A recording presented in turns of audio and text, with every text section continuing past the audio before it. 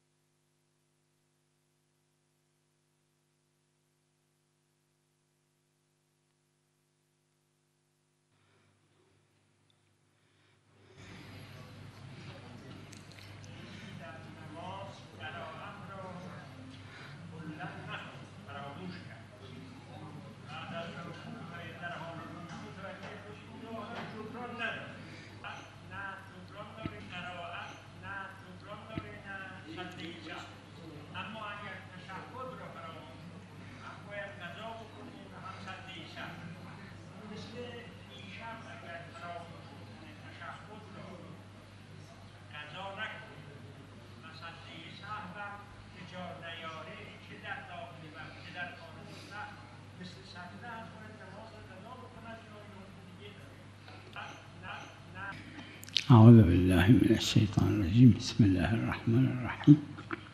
أعوذ بالله من الشيطان الرجيم. بسم الله الرحمن الرحيم.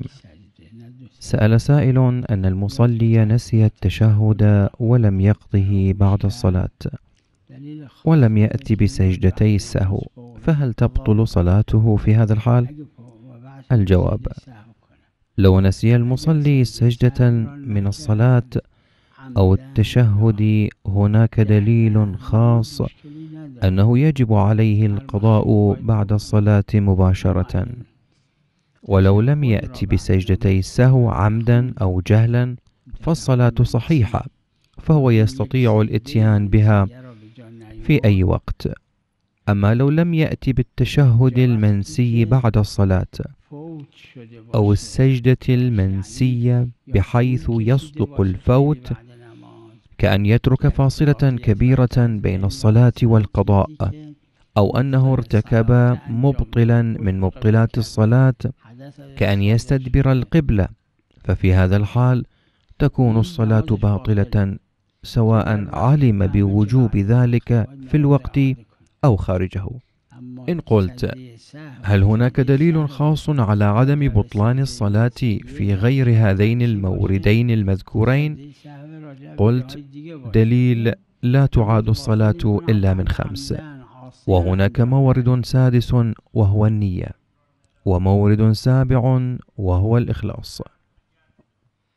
هذه الموارد تكون سببا لإعادة الصلاة سواء أتى بها عن جهل أو غفلة أو عمد.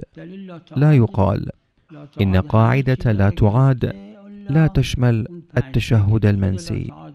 فإنه يقال القاعدة تشمل التشهد المنسي. سأل سائل لو وكل إنسان لإجراء عقد نكاح وأحس أنه كلما أجرى العقد أسرع كان ذلك أكثر تأثيرا في ترك الحرام. فهل له أن يجري أمام الزوجين فقط دون حضور سائر المدعوين؟ الجواب هذا متعلق بالوكالة. التي وكل بها فتارة يوكل ولو ارتكازا بحيث تتحقق الزوجية بأي نحو كان. وتارة أخرى يوكل لإجراء العقد في العلن وبحضور الناس. فهنا لا يصدق عليه أنه وكيل في إجراء العقد بأي نحو كان. وبعبارة أخرى هذا راجع إلى تقييد التوكيل وعدمه ويعلم ذلك من القرائن ومناسبة الحكم والموضوع. إن قلت أصل الوكالة إجراء العقد. قلت هذا صحيح ولكن ينبغي إحراز أن الوكالة مطلقة أو مقيدة. وفي حال الشك لا يجري أصل عدم التقييد لأنه أصل مثبت. لا يقال إن الهدف من التوكيل هو تحقق العقد نعم المتعارف بين الناس إجراء العقد بحضور الناس. فإنه يقال هذا راجع إلى فهم الوكيل من المراد بالوكالة. فإن فهم من الوكالة تعدد المطلوب أحدهما إجراء العقد والآخر حضور الناس والاحتفال بهذه المناسبة فلا إشكال بإجراء العقد بين الزوجين. وأما لو فهم وحدة المطلوب فلا يجدي إجراء العقد بينهما. وفي حال الشك أن الوكالة على نحو تعدد المطلوب أو وحدته الأصل عدم التعدد. وعلى أي الوكالة تابعة لنص التوكيل أو الارتكاز فيها. سأل سائل هل يشترط علم الوكيل بمقدار المهر حتى يصح العقد؟ الجواب العلم بالمهر من قبل الوكيل بمقدار المهر ليس بشرط بل حتى لو عين الزوجان المهر بينهما. وقال الوكيل على المهر المعين صح العقد أو أن الزوجين لم يعينا المهر أصلا فالعقد أيضا يقع صحيحا. سأل سائل أن الإنسان في كثير من الأحيان يعلم بأن العلاقة بين الفتيات والشباب غير شرعية ففي مثل هذا الحال هل يجوز له أن يجري العقد لهما فضولا؟ الجواب العقد الفضولي يحتاج إلى إجازة إما بعد العقد أو قبله إن قلت هل يكفي علمهم بالعقد؟ قلت صرف العلم لا يجدي بل لابد أن يعلم ويجيز العقد حتى لو لم تكن الإجازة لفظية. فإن صرف الرضا في العقود غير كاف. نعم الرضا في التصرفات كافية. سأل سائل أنه هل يشترط في عقد المتعة علم العاقد بالوقت وقدر المهر؟ الجواب. لا. نعم تعين الزمان والمهر في الزواج المنقطع ركن ولكن لا دليل على وجوب علم العاقد بهما. سأل سائل بأن الخبر الدال على أن كل زيادة ونقيصة في الصلاة تستوجب سجدتي السهو مخدوش سندا. الجواب. ذكرت من قبل بأن الخبر مرسل إلا أن الفقهاء عملوا به. فالبعض أفتوا وفقه والبعض احتاطوا وجوبا. نعم ثلة قليلة من الفقهاء حددوا موارد الزيادة والنقيصة بخمسة موارد. ومنهم المحقق الأردبيلي وصاحب المدارك. ومن يلاحظ رسالة الشيخ الأعظم رحمه الله ورسالة صاحب الجواهر ورسالة الميرزا الشيرازي الكبير وقد علق العشرات من الفقهاء على هذه الرسائل معظمهم إما أفتوا بوجوب سجدتي السهو لكل زيادة ونقيصة أو احتاطوا وجوبا. بالنتیجه برای شما حجت اون برداشت خودتون. سأل سائل أن سجدتي السهو لكل زيادة ونقيصة. هل يشمل الأذكار؟ الجواب هذا فيه بحث. وقد نسب لبعض الأعلام المحتاطين أمثال المجدد الكبير والسيد إسماعيل الشيرازي والشيخ محمد تقي الشيرازي بأنهم قالوا بأن زيادة أو نقيصة الفتحة والكسرة تستوجب سجدتي السهو. إن قلت وهل يشمل ذلك الأذكار؟ قلت البعض أمثال المرحوم أفتوا بوجوب سجدتي السهو في زيادة أو نقيصة الذكر لإطلاق الدليل وبرأيي أن الدليل لا يشمل الذكر.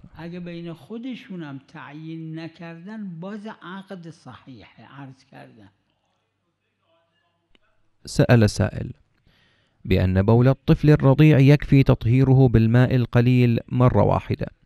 فهل أن هذا الحكم جار في الطفل الذي لا يشرب الحليب المجفف؟ الجواب ورد في الرواية التغذي بالطعام ولا يصدق على الحليب المجفف أنه طعام. إن قلت وهل أنه جار في الرضيع والرضيعة قلت هناك خلاف فالبعض خصصوا ذلك بالرضيع دون الرضيعة حتى لو كان الرضيع يشرب الحليب الجاف. والبعض ألحق الرضيعة بالرضيعة وعلى كل. المسألة محل خلاف شديد بين الأعلام. لا يقال إن إطلاق الصبي لا خصوصية له بل المراد هو الأعم. فإنه يقال يظهر من الأدلة خصوصية الصبي في الحكم. نعم هناك خلاف بأن الصبي موضوع أو مورد.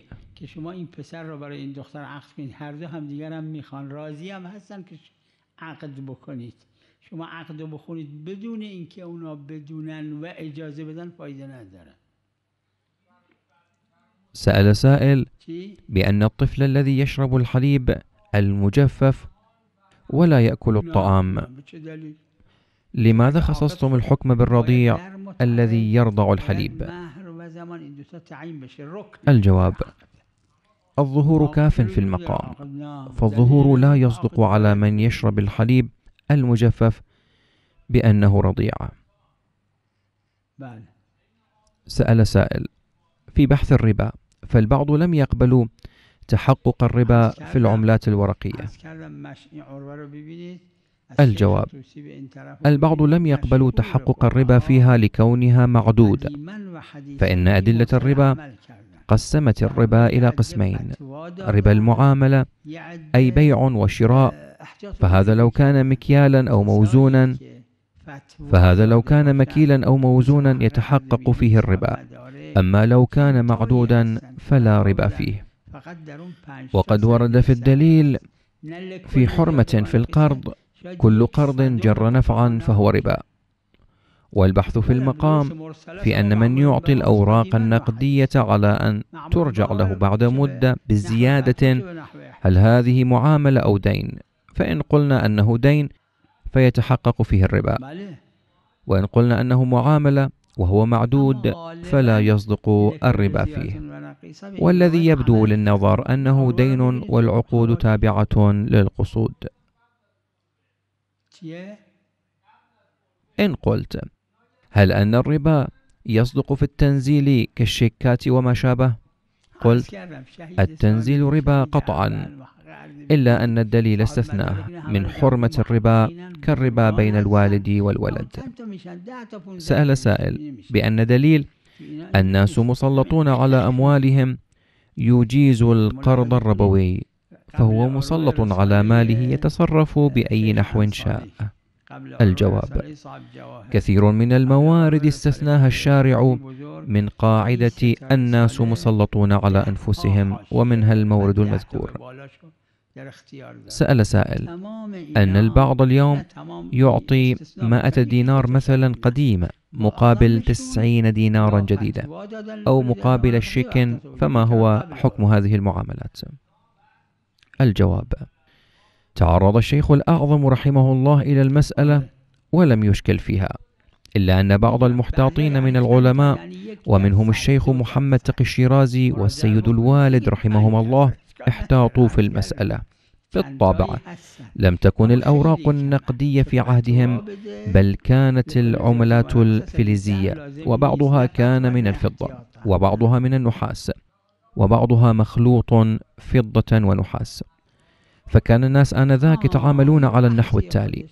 أن يقدم أحدهما عملتين بقيمة خمسين فلسا مقابل عملة واحدة من مئة فلس. علما أن وزن هذه العملة يختلف. وقد ذهب الشيخ الأنصاري رحمه الله أن المعاملة في فرض السؤال بالمعدود لا بالمكيل والموزون. وقد خالفه البعض في ذلك. والذي يبدو للنظر أن رأي الشيخ الأعظم رحمه الله أتم. سأل سائل عن الخلاف في رسم خط القرآن الكريم. البعض اشترط أن يكون رسم الخط وفق القواعد العربية فما هو الدليل على ذلك؟ وفي حال أن أحدا غير في رسم الخط العربي هل يعد آثما؟ الجواب في الواقع الاختلاف في رسم خط القرآن أمر مختصر وهو في بعض الموارد القليلة الخاصة فلو كان التغيير لا يتجاوز الاختلاف القديم فهذا جرت عليه السيرة ولا إشكال به. وأما لو حصل التغيير في العصور المتأخرة فهو مشكل.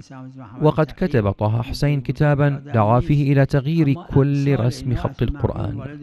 وعلى سبيل المثال كان يستشهد بكتب العرب واللغة والتفاسير. مثل كلمة هذا على أنها كانت تكتب هذا.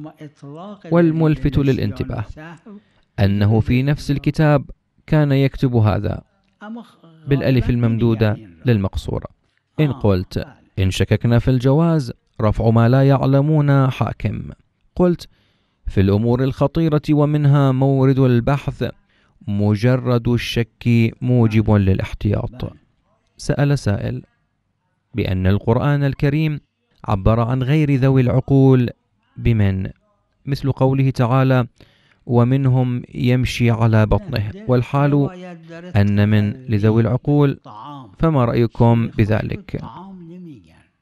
الجواب في كتب اللغة العربية ومنها مغني اللبيب أن الأصل في من لذوي العقول ولكنها تستعمل لغير ذوي العقول وكذا الأمر بالنسبة لكلمة ما.